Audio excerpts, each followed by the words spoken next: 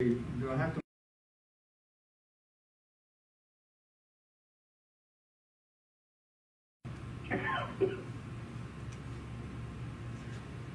You ready? It's six o'clock. At this time, I'll call the. The Perry City Council meeting for April the 7th, 2020 to order. At this time, I'd like to make an official roll call of who is on the phone with us today. Miss Bynum Grace, Here. Mayor Pro Tem King, Perry City Council meeting for April the seventh, two thousand and twenty, to order. At this time, I'd like, hold on folks, we got a little feedback. I'm sorry. Yeah, everybody please mute your phones, okay? Mayor Pro Tem King, Council Member Peterson, Here. here. Here. Thank you. Council Member Jones? Here. Thank you. Member Hunt, Councilmember Hunt's here. Councilmember Albritton? Here. City Attorney Miss Newby? Yes, sir. Here. And Assistant City Manager Robert Smith? Here. Thank you.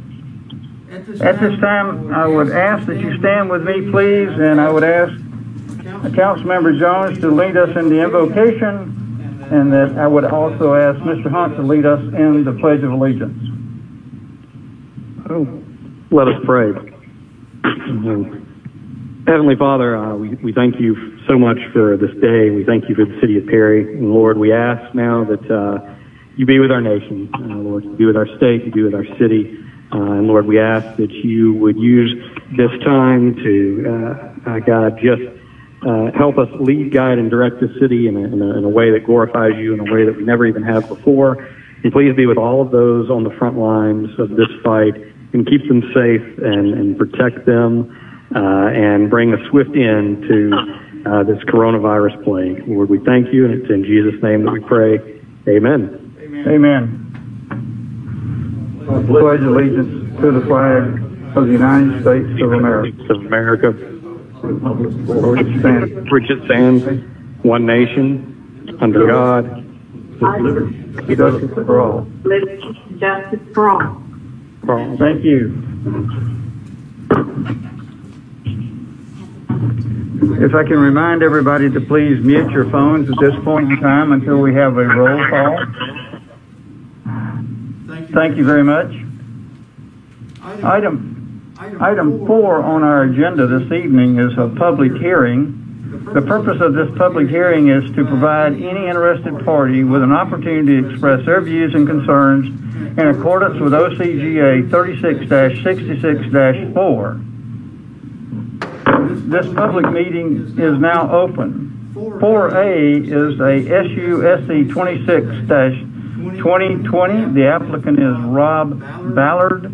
A request for a special exception to construct 10 six-unit buildings on 2.24 acre parcel, which is Phase 3, and 25 four-unit buildings on Phase 2 property. The property is located at Club Villa Court. The tax map number is E 0P049018E000. Mr. Wood? Thank you, Mayor. Mayor and council. This request, uh, as the mayor has stated, is uh, for the construction of multifamily units. Uh, Really what we're looking for, we're looking at here is a density issue.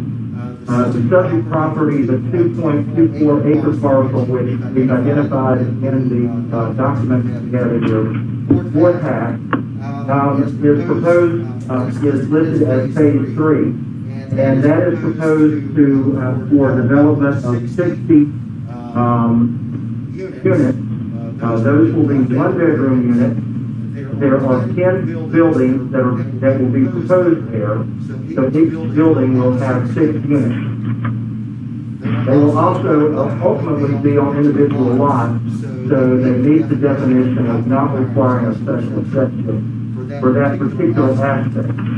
However, uh, the sixty units on that two point two four acre parcel uh, does exceed the, uh, maximum density that is allowed on that particular parcel. Um, it is typically allowed forty-eight units as opposed to sixty. So there's a twelve unit gap there. However, the owner of this property, developer of this property, has also purchased, uh, the larger parcel, um, uh, that is uh, listed as phase two of the Club Villa apartment. On this particular parcel, which uh, there was approved back in the mid two thousands, um, uh, proposal for one hundred uh, four unit buildings. Each of those uh, units will have two and three bedroom units. Um, again, all of those uh, buildings will have no more than four units, and four dwelling units, uh, for a total of 100 units. In looking at the maximum density allowed uh, on that particular parcel, uh, that would be 191 units allowed.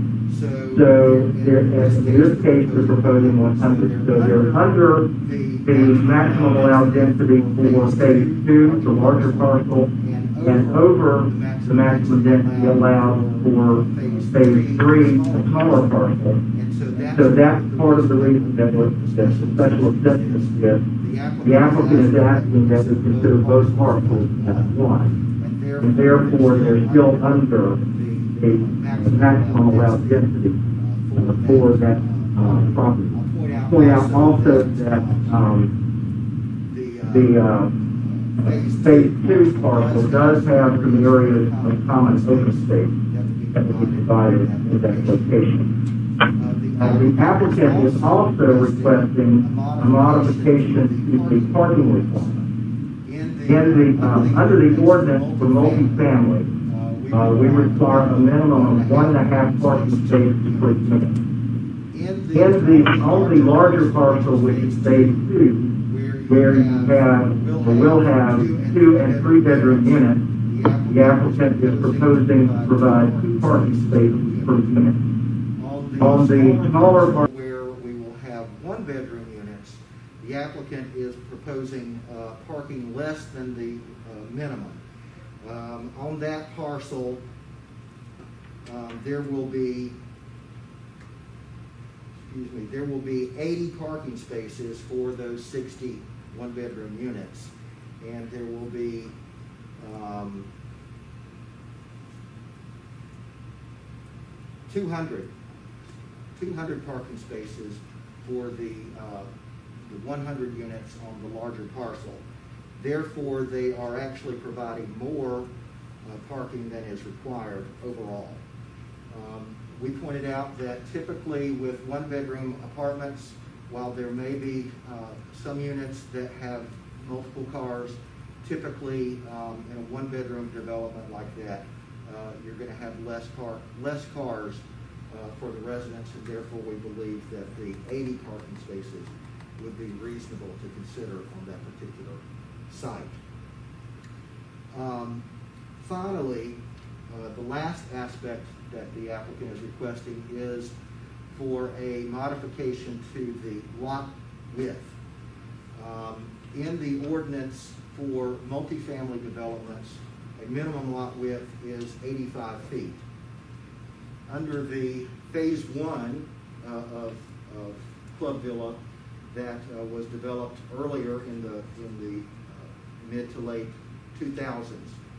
And uh, the approved plan for uh, the second phase, those lots, and I'm not sure how they were, uh, how they got approved, but they are 75 feet in width. Um, On the um, smaller parcel, the phase three parcel, um, lot widths will be a minimum of 60 feet. Um, I do want to point out, however, that um, in the area, uh, this uh, two, uh, 2.24 acre parcel um, backs up to the Catholic Church. And the Catholic Church had approached the city several months ago about the possibility of expanding or adding a new sanctuary and asked us about traffic issues and, and obtaining another curb cut. Um, we told them that uh, Highway 127 is a DOT road, that they would need to talk to them. I believe they have, and DOT said they would allow one, but it, an additional curb cut, I should say. However, that would have to be a, a right in, right out only. We suggested to the church that this 2.24 acre parcel was for sale. We knew that. Um, and I think they may have done some, some um, discussions looking at that, but apparently uh, the, the applicant for this application already had it under um, contract. We asked this applicant to go, to talk to the church and see if there was a way that he may be able to provide them with access from their property to um, Chevron Drive, uh, which would provide two actual two means of access on the 127 uh, to the north and the five lane section of 127 across from Houston Lake. Um, he was able to uh, work out a, a, plan where he does provide a 24 foot driveway uh, that the church will build, uh, providing that access. Um, so that's part of the reason why the lot widths are, are, are less than normal. So, in uh, summary, uh, the applicant is asking for um, a total of 160 units on the two parcels, uh, whereas 239 would be allowed, would be uh, the maximum allowed. He's also asking for 200 and, uh, 280 parking spaces, uh, where um, sorry.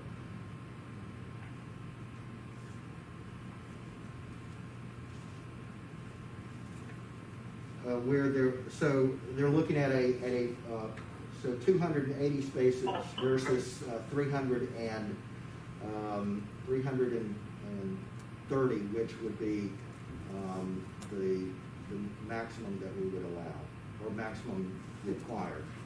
And finally, the reduction in the lot width from 85 feet to um, 60 feet for phase three. And the 75 foot lot widths already exist, or already approved um, for phase two. I will point out that um, in reviewing the criteria, uh, this application did, uh, in our view, meet those requirements. Uh, the property is um, surrounded um, on, all, on uh, three sides, excuse me, on all four sides by property that is zoned C2, general commercial. Um, most of those properties are developed as commercial or as institutional uses. So the higher density uh, that is proposed on this 2.24 acre parcel is completely surrounded by commercial zone property and buffered from any single family residential areas. Um, the planning commission, the, the higher density that's proposed on the, on this smaller parcel, the 2.24 acre parcel, is completely surrounded by commercial zoning and is buffered uh, by that property, by those commercial properties from any single-family residential uh, properties. Okay. Both the staff and the planning commission recommend approval of this request with four conditions. Those conditions are that phase two shall not exceed 100 two and three bedroom dwelling units. At least 200 parking spaces shall be provided on the phase two parcels. That phase three shall not exceed 61 bedroom dwelling units. And at least 80 parking spaces shall be provided on the phase three parcels. Excuse me, there were five. And the fifth, um, that the development of the project shall substantially comply with the layout previously approved for phase two and the layout presented with this application for phase three, which is identified as preliminary plat prepared by Saunders Engineering Consultants Incorporated and dated February uh, 2020. And I'll be happy to answer any questions you may have of me. I know that the applicant is here, he's in the lobby, and if there are any questions, he can be made available. Council members, do you have any questions relative to this special exception? Yes, sir. Uh, Mayor, Yes. um, probably my questions are related to the fact that my ability to hear everything Brian said was, um, you know, less than great. But, um, I wanted to ask in the, um, if you could go back to the screen, um, Tabitha, to go back to the screen. Uh, I wanted Brian to show the, um, where the driveway is from the, um, Catholic Church there, uh, into the property. Also, I was unclear, that's one question. Also, I was unclear about the number of parking spaces per one-bedroom unit. And then my third question was, I'm assuming that along the front of the units that are already in place, that that is Chevron Drive. Am I correct about that? Yes, so, No, that's Club Villa Okay. Drive. Why don't, Ryan, why don't you walk up here Okay. closer and talk into Yes, the. please, Brian. oh, into that, Uh, because I'm won- I'm wondering about the streets that come down the, um, the picture Right. there that have cul-de-sacs Go up already built for the into the end. I'm just wondering why he's not utilizing that. Okay, so the uh, Chevron Drive is this, is this road leading into the existing units. This is the Phase Two property that we're referring to. This is Chevron Drive, Chevron Road, excuse me, which connects Club Villa Court. Did I say Chevron down here? This is Club Villa Court, excuse me, that uh, leads uh, from uh, the five-lane section of, of um, Houston Lake Road or Highway 127 right out here. Brian, just a moment. Can, can you guys hear Brian? Or do I need to move him closer Yes. to, to the phone? Yes, I can. Okay. I can hear him. I just want to make sure you, you can hear what he's saying. Okay? Yes. So this Yes, is, Brian, tell me Houston Lake. so Houston Lake Road is out here. Um, This is the, right in, around this area is where the VA uh, VA center is. Um, and then you move up, this is the, um, Shell station up at the corner where Highway one twenty-seven turns to go towards, uh, Matt Arthur School. Okay. So Chevron Road connects Club Villa Court to the two-lane section of Highway 127. This is the Catholic Church, and this is the parcel where the higher density is proposed. And the, uh, the driveway to the church will be located at the top of that parcel here. Okay. There was a question about the, where the cul-de-sacs are. My understanding is that's going to be phase two, is it not? That's correct. So the, um, you, you can kind of see on the aerial that these cul-de-sacs exist. Uh, they were never, they were put in, I guess they were graded and, um, uh, I believe they have, um, curb and gutter, but they were never paved. So those will, will be paved, um, and the lots for the phase two will come off of those cul-de-sacs. Was there another question? Okay, question? thank you. Councilmember Peterson, do you have any other questions relative? Does, does that explain it to? Yes, sir, but except for the uh, one-bedroom parking spaces? Yes. I'd like to make sure. Yes. So the ordinance does not address parking based on number of bedrooms. It just says, uh, it just requires a blanket one and a half parking spaces per unit. Uh, so in that case, for sixty units, um, there would be a requirement for ninety parking spaces on phase three. Um, they are proposing eighty parking spaces. So ten parking spaces short on this parcel, but they will be, um, have more parking spaces than required on the phase three, on the phase two section. Uh, Two parking spaces per unit for those two and three bedroom units. Okay, thank you. How can we justify not making them have one and a half? That's our ordinance. So if we're considering both parcels as one development, they exceed the number of parking spaces required. Okay, but the folks up here don't get but one and a half, and they have company, they gotta walk all the way over here to this last cul-de-sac to park their car. Mhm. If they're, so, again, um, most people in a one-bedroom apartment are a lot more likely to have only one vehicle.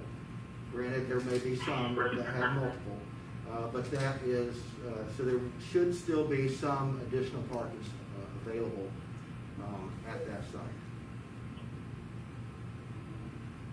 And y'all approved that. We recommend approval of that, yes, sir. What you gonna do next time it comes along? That, that request, you say you, you did it for these people. Why We will evaluate each application on their mer, on its individual merits.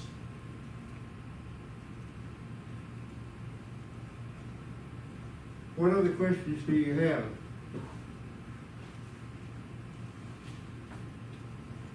Hearing none, is there anyone here who would like to speak in favor of this development?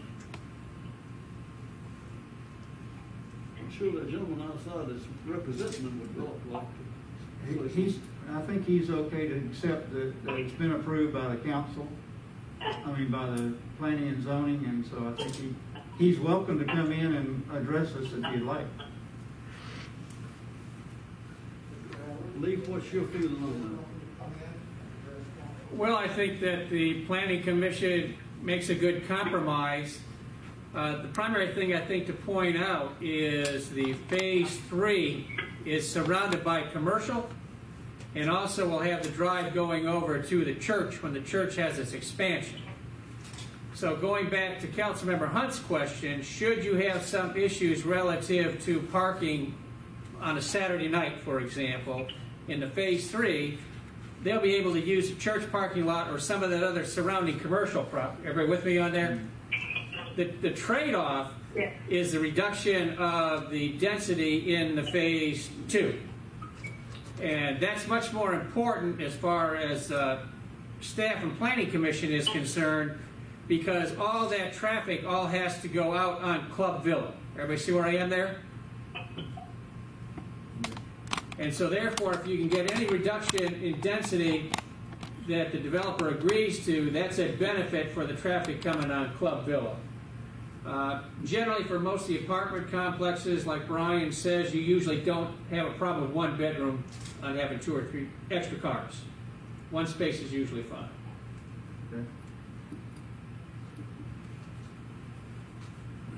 Mr. Ballard has joined us. Would you like to speak in favor of this project? Mr. Sure. Ballard? Yes, Mayor, I appreciate the opportunity, and again, I had told Brian I wanted to be considerate of this situation and just kind of stay clear, but of course, we are excited about the project, we put a great deal of time and effort into it. We have a reputation for doing first-class development, and uh, that's what we want to do here. We see this as being uh, what we consider to be the keystone piece of the project is up front, and uh, we do have great access, a great location. We've worked very diligently in bringing the standards up of that apartment development. It kind of slipped through the years. So we've done a, a, lot of work out there to bring it up to speed. And uh, we are just happy to, you know, to be involved. And hopefully you guys will, will go on with the plan and uh, we'll be able to get started out there. But we want to be, you know, um, smart growth, kind of, you know, um, respectful and uh, just top tier development company here in Perry. We're excited about it. Appreciate you guys having us. Council members, do you have any questions? No, sir. Mr. Hunt? What about water, drainage?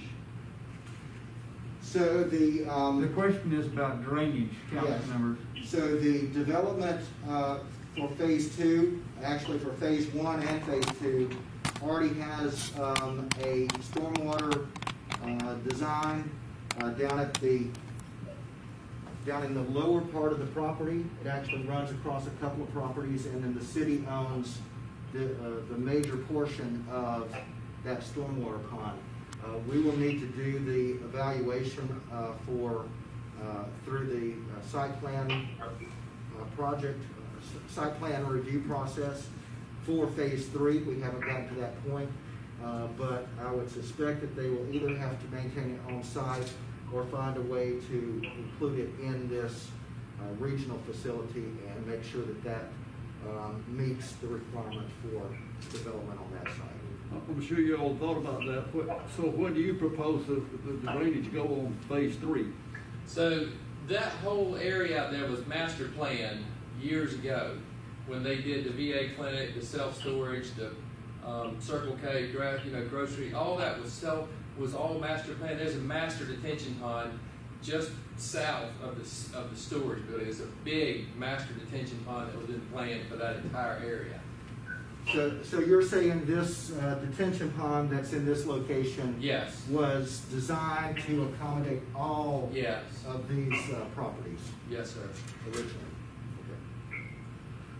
But being the steward you are, you're gonna check and be sure. We will verify that, yes, sir. Mm-mm. Anything else, Mr. Ballard? No, sir. Thank you very much, Mayor, for allowing me to come in and say hello. Thank you for, for putting up with what we're having to go through right now. no problem. I truly appreciate it. apologize. I No, no, no, don't apologize. I understand. Thank you, guys. Thank you. Is there anybody here that would want to speak in opposition of this project?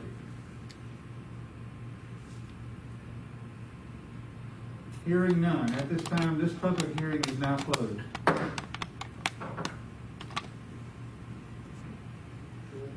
Council member, item five on our agenda is review of the minutes. Five A is, you've been provided with the minutes for the March twelfth, twenty twenty special recall meeting, the March seventeenth, two thousand and twenty council meeting, and the March twentieth, two thousand and twenty special call meeting. At this time, I will entertain a motion to approve the minutes as presented. So moved. Moved by Mr. Hunt. Second. There's a second. Is there any additions, deletions, or corrections that need to be made to these minutes at this time? Hearing none, we will have a roll call vote. All in favor, Mr. Hunt? Yes? Ms. Bynum Grace? Ms. Bynum Grace? She may need to unmute. Huh? She may need to unmute herself. Unmute your phone, Miss Grace. Councilmember Pete, I'm sorry, you're in favor of that? Yes. Okay, thank you. Ms. Peterson? Yes. Mr. Jones? Yes. Mr. Albritton? Yes. Thank you very much. Please let the record show the minutes were approved unanimously. Item six is old business. Six A is old business for the mayor. I have none. Six B is old business from the council members. Are there any council member on the call that has any old business? No, sir. Thank you. Six, No. I'm sorry? No, sir. Okay. No. Six C is the city attorney, Ms. Newby. No, sir. Six D is the city manager, Mr. Gilmore. None. And six E is assistant city manager, Mr. Smith. No, sir, thank you. Thank you. Item seven is new business. Seven A is a special exception application. You've heard a great deal about that from Mr. Wood already. Are there any additional questions you would like answered before we take a vote on this special exception?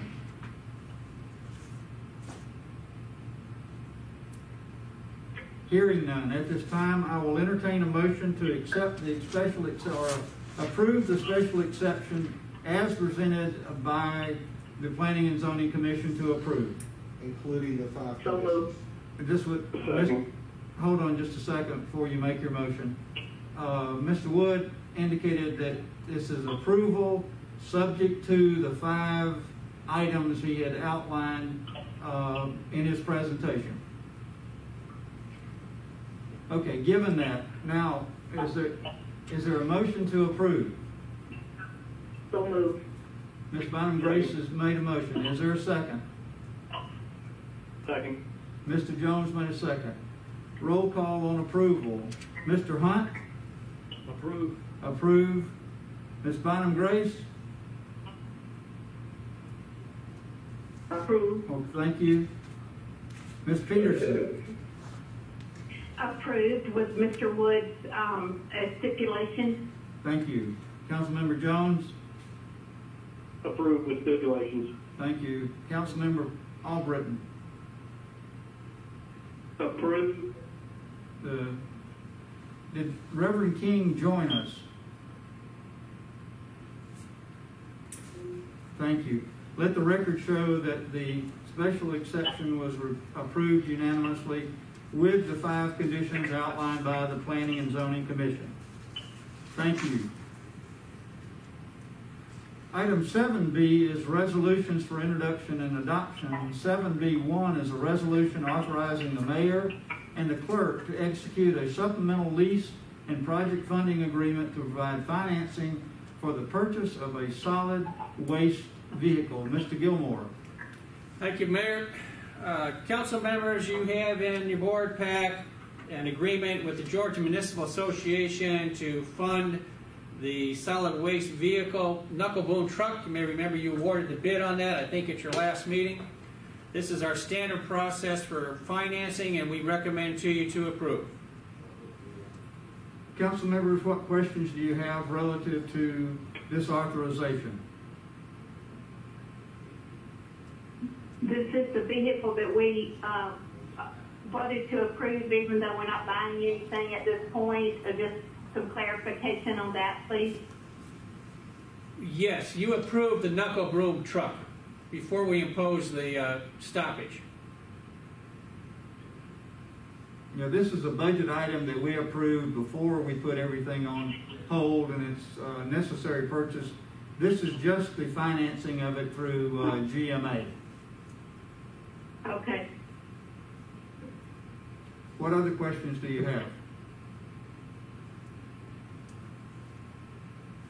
Hearing, Now, does that mean we're going to go ahead and purchase it? yes, or- this, this one was one that we've already, the process has already gone forward. We're just financing it now on our normal rotating finance program. But we had it on hold, are we going to keep it on hold? No, no, not, not this one. This is not the truck that's on hold? Okay.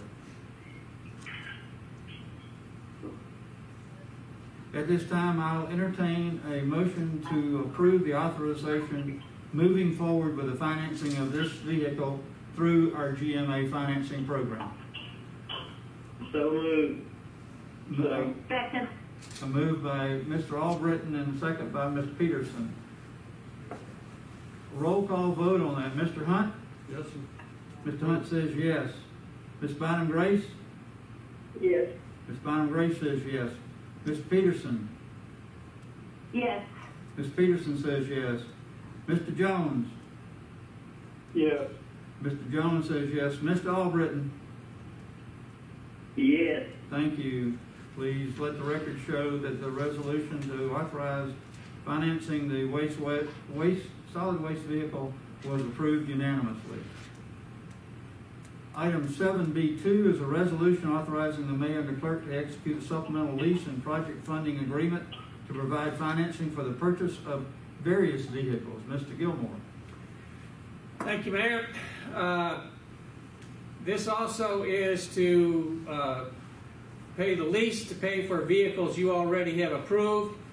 Uh, There's a mower, the animal control vehicle, the forklift, some pickup trucks for water and sewer, and a mower. Uh, These have previously been approved by you, and we are recommending that you approve this supplemental lease agreement with GMA to fund. What questions do you have? Now, these are pieces of equipment that we have approved and the purchase was submitted prior to our pr- previous one where we put a large number of items on hold. These are not included on that on hold purchase. These are things that we have approved several months back. And this is just the financing on those that we normally do through the GMA direct leasing program. Any questions for Mr. Gilmore? Hearing none, at this time, I will entertain a motion to authorize the mayor and the clerk to execute a supplemental lease and project funding agreement with GMA on these various purchases. So moved. There's a move by, mo- motion by Mrs. Bynum Grace and a second by Mr. Jones. A roll call vote, please. Mr. Hunt? Yes, sir. Okay, thank you. Ms. Bynum Grace says, Yes. Ms. Bynum Grace is yes. Ms. Peterson? Yes. Ms. Peterson is yes. Mr. Jones? Yes. Mr. Jones is yes. Mr. Hunt was yes. Uh, Councilmember Albritton? Yes. Mr. Albritton, Mr. Hunt, you did say yes, did you not? Thank you. I thought you did. Please let the record show that the resolution was approved unanimously. Item seven C is the appointment of Mr. Dan Bass as interim chief building official. Mr. Gilmore. Thank you, Mayor. Uh, Council members, I think you are aware that Mr. Hester, our former chief building official, resigned to take another uh, uh, position elsewhere. Uh, As an interim basis, based on the recommendation from Mr. Wood, which I concur with, we would like you to have no objections to appointing Mr. Bass as an interim chief building official. Uh, This particularly needs to be done because there's a number of documents that have to be signed off by the chief building official, and we recommend that we go with Mr. Bass at this time. Council members, what questions would you have rel- relative to this appointment? What experience does Mr. Bass have? Is he currently with us, I assume? Oh, yes, sir. Uh, Mr. Bass is the most experienced building inspector that the city has. He has been with the city at least 20 years. And as I understand it, this is just an interim until such a time as we decide to fill that job somewhere in the future. Correct. Council members, any questions relative to this recommendation? Hearing none at this time, I'll entertain a motion to appoint Mr. Dan Bass as the interim chief building official. So moved. Mr. Hunt has made a motion. Is there a second? Second. Second. Second by Ms. Peterson. Roll call on this, please. Ms. Bynum Grace? Yes. Ms. Bynum Grace is yes. Ms. Peterson? Yes. Ms. Peterson is yes. Mr. Jones? Yes. Mr. Jones is yes. Mr. Hunt? Yes. Yes. Mr. Albritton?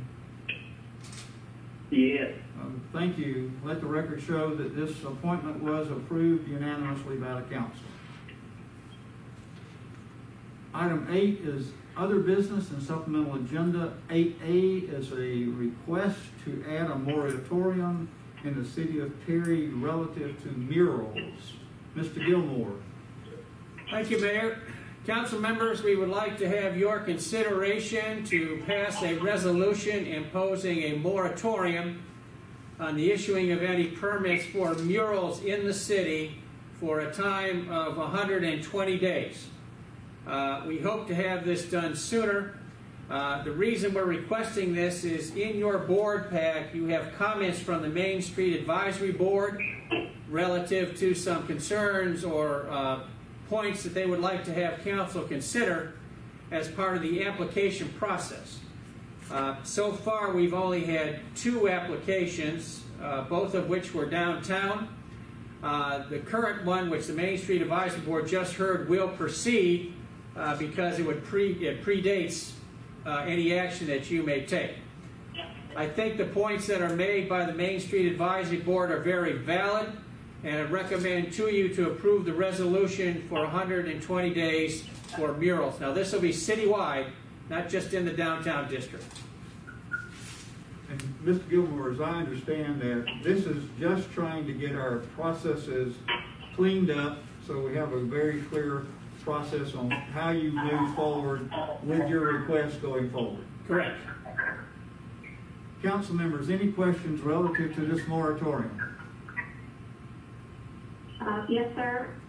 Um, I wanted to, just wanted to state that my concerns are that, um, we come up with an ordinance that has such clarity and such detail that, uh, reviewers can reach an objective decision about the artwork that is proposed. Uh, art is exceedingly subjective. When my husband and I go to the High Museum, he's on one side of the room, I'm on the other. But to avoid uh, confusion and to avoid what could be perceived as unequal responses by the city, uh, the guidelines must be concise and concrete. I think that we need to perhaps reevaluate or make a good decision about who makes the final decision on whether or not this large piece of art is suddenly going to be in the face of every person who lives in Perry. This is a huge decision, and we must wisely stipulate who makes it, especially in the downtown district. Uh, whoever decides this must be thoroughly trained as to the intent and the content of the ordinance.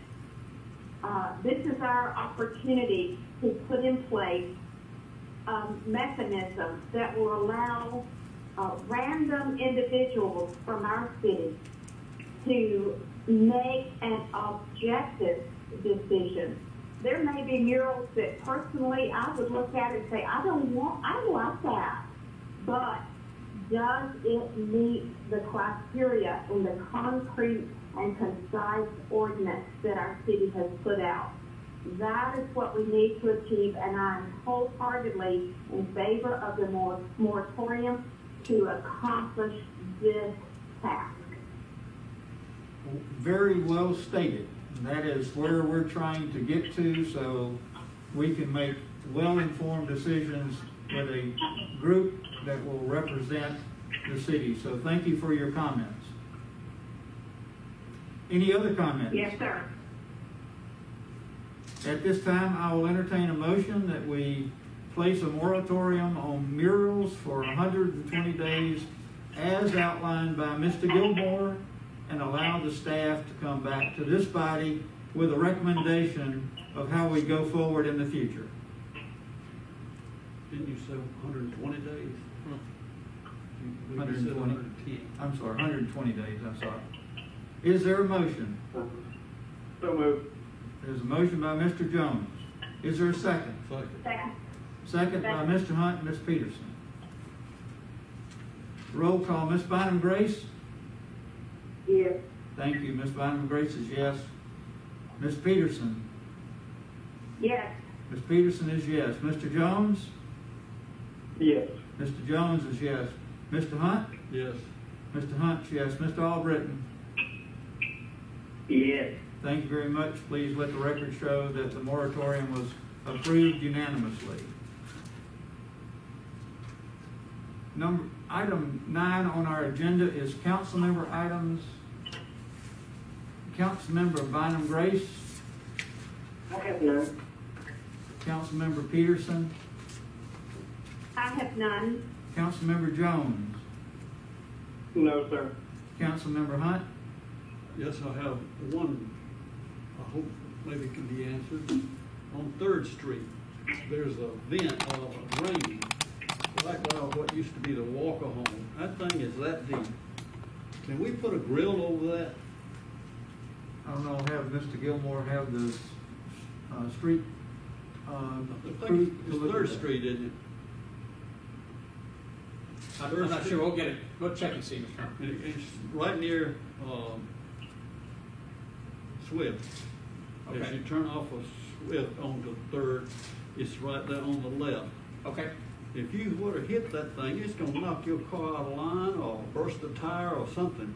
It's over near the edge, but it, every time they resurface that road, it just gets deeper and deeper. Yes, sir. It's a danger. We shall have it corrected for you. Anything else, Mr. Knight? No, Thank you. Councilmember Albritton, anything this evening? No, sir. Thank you very much. Mr. Gilmore, anything? for No, us? sir. Mr. Smith, anything? Mr. for- Mayor, Yes, Mr. Mayor? Yes. I apologize for not thinking of this when you called on me, but I recently spoke with a resident in Grand Reserve who was very grateful for the rebar that had been added into the, um, children's playground, um, to make that, um, water receptacle much safer and not, it does not have child access any longer. But They are very grateful. well, thank you. We're glad we improved that situation. Uh, Mr. Smith, anything this evening? No, sir, Mayor, not tonight. Miss Newby, anything for us, given all that's been going on in our world over the last couple of weeks? No, sir, nothing tonight on it. Okay, thank you very much. Thank you. Mr. Wood, anything? Nothing further tonight, sir. Ms. Warren, anything? No, sir. Thank you. Is there any, any, Ms. Clark, anything? Ms. Clark's got a new video she might want to tell you about. Um, yes. Bob the Buzzard. Yes, we just concluded um, a video which features Bob the Buzzard and the police department with a couple of officers. Um, and it's alternative uh, songs besides Happy Birthday to sing while you're washing your hands for 20 seconds. So that will debut shortly, and we're very excited about it. We think it'll put a smile on a lot of people's faces. Super, thank you for doing that. Mr. Wood? Yes, Mayor, I do have one thing. Um, it's despite all of the, uh, you know, issues with uh, coronavirus, it is still uh, census time. And um, if you can get out that uh, information that I sent to all of you and try to get our, our counts up and make sure people are uh, responding to the census, that would be appreciated. Thank you. And I would encourage everybody to fill out their census forms and send them back. It's very, very important that we do that here in Houston County. Is there any other department heads on the phone with us at this point in time? Hearing none. Item 11 is general public items. Ms. Clark, do we have anything that's come in on the feed that we need to answer? No, sir. There's nothing from the general public. Thank you very much. Item 12 is mayor items. The first thing I'd like to do is wish Miss Bynum Grace a very happy birthday. Today is Miss Bynum Grace's birthday on April the 7th, and uh, we had planned a big birthday party here, but needless to say, the coronavirus has interrupted us having cake and coffee together. So, Miss Bynum Grace, happy birthday to you. We appreciate that. Thank you Happy very much. birthday, Stella. Thank you. I feel great for a girl of 21. I know. I'm. Thank you very much.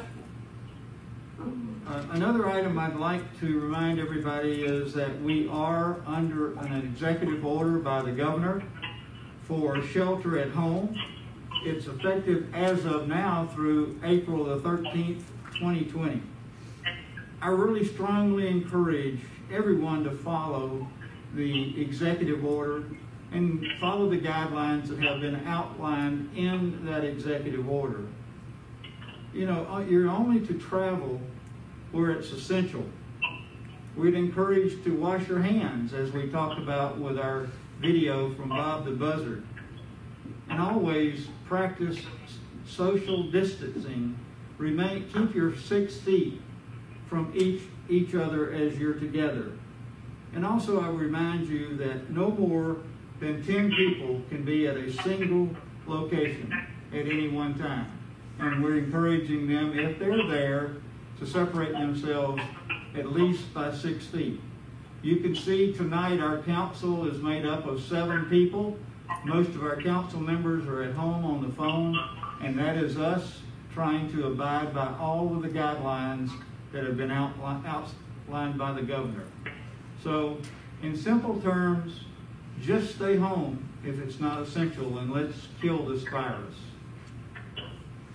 If there's nothing else to come before us this evening, we will stand adjourned. Thank you for your interest and participation. And again, I apologize for how we have to conduct these meetings, but we want everybody to stay